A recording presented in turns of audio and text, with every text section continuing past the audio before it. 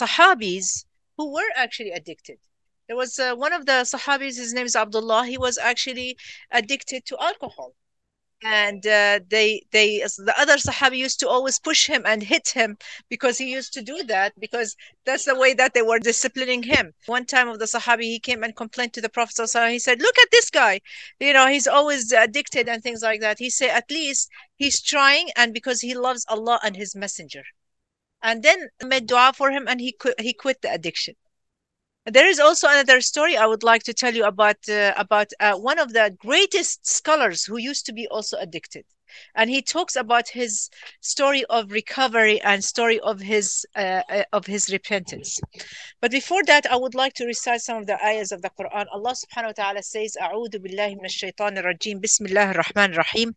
Wallahu yuridu ayyatu yatuba alaykum ويريد الذين يتبعون الشهوات أن تميلوا ميلا عظيما Allah subhanahu wa ta'ala says Allah wants to accept your repentance but those who follow their passions their desires because subhanallah this is how it starts it starts with a desire it starts with an idea right I want to try it I'm very curious so I take it take a little bit tastes good and then I have my friends who will encourage me for it, right? So I take another one, and then I take another one until it becomes an addiction. That's a desire. So Allah subhanahu wa ta'ala says, uh, but those who follow their desires want you to de- digress into a great deviation means to take the other route. Also another ayah says that and Allah la yughayyiru ma hatta ma bi means like Allah subhanahu wa ta'ala will not change the people unless they start changing on themselves as Sister Javeria said, she said, you need to want it. You need to want it to change. It doesn't just change like this. Now, us as Sister Kimberly, she said a very profound thing. She said, like, what do we do as people that we are hurt? When I went to a counselor, so she told me that, you know, uh, I have a family member that he is under, uh, you know, substance abuse. They told him, you know, just leave him uh, make him go to the like to the rock bottom. That's what they say. Like he has to stay to keep like to go to the rock bottom until he starts like thinking. But this person has been 16 years on the rock bottom and nothing changed. As she said we said like we're supposed to be praying for them making dua for them that allah guide them and unfortunately, subhanAllah, as I said, there are so many brothers and sisters, they go to jail from, from Muslim brothers and sisters, they go to jail because of the, the substance abuse, because of the addiction. And not only that, because they start doing other haram stuff like stealing. Not to mention also that they have boyfriend, girlfriend. Not to mention that they are do like Uh, I I heard about a story of a person that, Subhanallah, he used I used to be his teacher in a, an in an Islamic school for like four or five years, Subhanallah, and now he's an adult. And he went downtown. I don't know what he was doing, and he shot somebody, shot somebody, and he's in jail because of that. Subhanallah, and he's a Muslim. He was in an Islamic school. You're talking about students who are in Islamic schools. Their parents paid money for them to be in an Islamic school and of course not all of that. Like those are very low percentage you know of the community. But it is spreading among our uh, youth. So whose fault is that? Many times the parents start you know blaming themselves. It's like is it my fault that i didn't know i didn't raise you right? Or is it the world really and the community uh, that that those you know youth that they go to public schools or to colleges and things like that they start trying things out and then they just get lost right in the process. So we ask allah subhanahu wa ta'ala to protect us protect our islamic ummah and islamic community.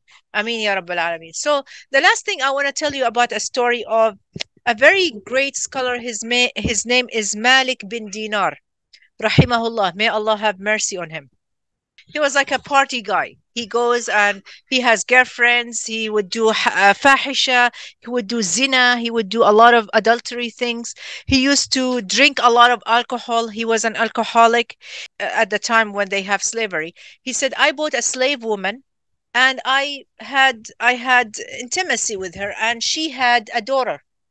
I loved this daughter so much. And of course like the, when the you know when the slave uh, if if it's in, in a muslim house she becomes a a free woman And her daughter, of course, becomes a free woman. So he loved his daughter so much. So he said that uh, this daughter started like walking. And uh, uh, and when I sit and drink alcohol, she would come and she wants me like she wants me to play with her. So he always like used to push her away. When she became like two years old, she became so sick. The, the the daughter became so sick and she died. So he said, you know what? I'm gonna drink until I die. That's what he said. Yes, he became like in depression. So he was about to commit suicide. He said, I'm gonna drink until I die. Subhanallah. So he started drinking too much, drinking too much, drinking too much. And it was like in the nights of Shaban. That's what he said. He said, while I was sleeping, I saw a, a dream. And that dream was like a turning point for him. He said that I saw myself that it was a judgment day and I was resurrected from the grave. And I saw a great snake was chasing me, was going after me. And I started running and running and running, and I was so scared. And then I said I saw a man that he was wearing all white and he was an elderly man. He looked so sick and he was so weak.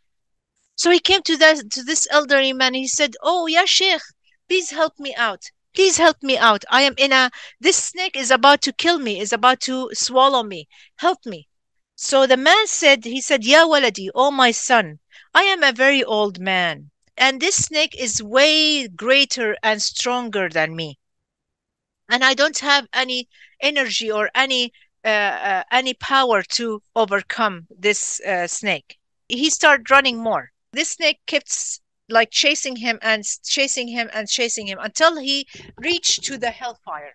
He saw the hellfire about to come this way, and the snake was coming from that way. And then he say, he say, where are my people to help me out? Where are my intercessions? Like, you know, if I have anybody to help me out. Subhanallah. So he said, I went to a mountain, and while I was in a mountain, I saw a lot of like like windows inside the mountains. Suddenly one of the windows opened and he saw a bunch of children. And guess who saw among those children? His daughter.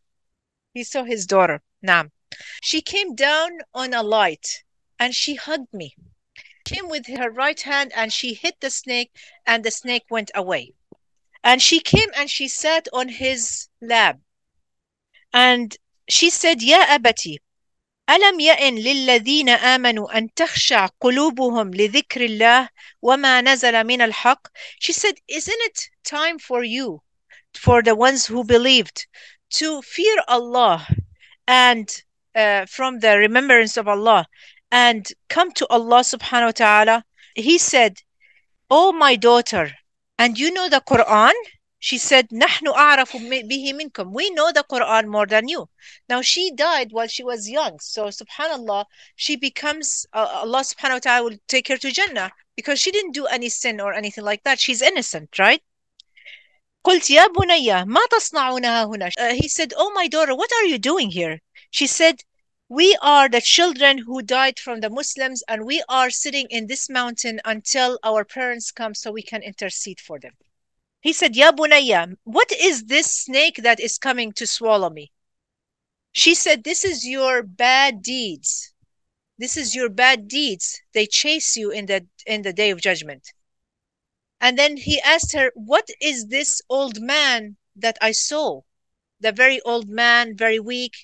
He said she said, This is your good deeds. You made your bad deeds stronger than your good deeds and that's why your your good deeds could not overcome your bad deeds. Subhanallah. So this is my like uh, message to everyone whether for people are addicted or not. Try as much as you can to do good and never give up. Even if you fall allah subhanahu wa ta'ala is the only helper for you. Oh she told him that to repent to allah and don't be among the ones that go to hellfire. She said, because it's going to come the time where I'm not going to be able to help you. I'm not going to be able to intercede for you. That's what she said. SubhanAllah. He said, I woke up and that was my turning point. and at this time I repented. And the repentance needs four things to do. The first thing is to admit that I did something wrong. Say, Oh Allah, I did this some, something wrong. Second is to ask Allah for forgiveness. The third thing is not only to ask Allah, if there is something wrong that I did and I can't fix it, I go back and fix it. So, for example, if I stole money and I repented, I should return that money.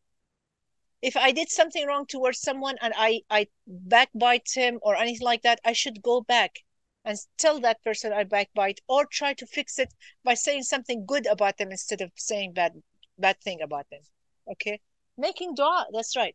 And the last thing and the fourth thing is not to go back to it. Repent, not to go back to it. So these are the four things to repent. So we ask Allah subhanahu wa ta'ala to help us in this night to make us repent to Allah subhanahu wa ta'ala. Inna huwa tawwab. He is the one who caused repentance.